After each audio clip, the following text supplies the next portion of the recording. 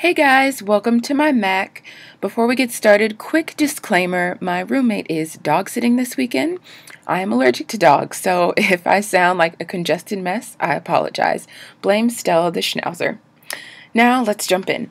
I am the proud owner of a MacBook Pro, about two years old, still trucking along just fine.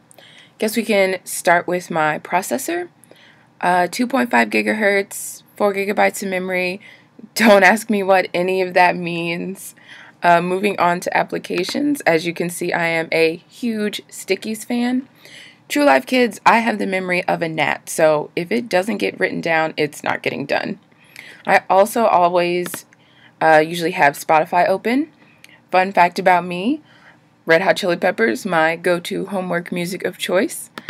As far as applications that specifically would help me out with media projects, of course, I have the built in GarageBand, iMovie, all that good stuff.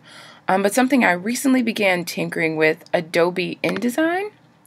Um, as I mentioned in my intro video, I am a member of the Programs and Activities Council.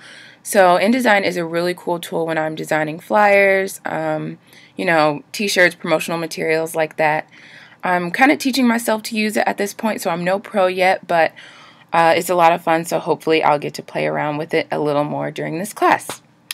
Alright, so I guess the last thing that we'll go over is probably the first thing that you noticed when I started this video, and that is my beautiful picturesque background.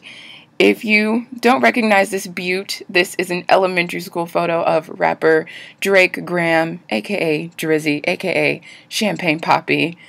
And um, I don't know, really requires no explanation. School is stressful. I do school on this computer. If Drake is there to make me Google, I'm less stressed. Uh, so I guess that's all, guys. Talk to you later.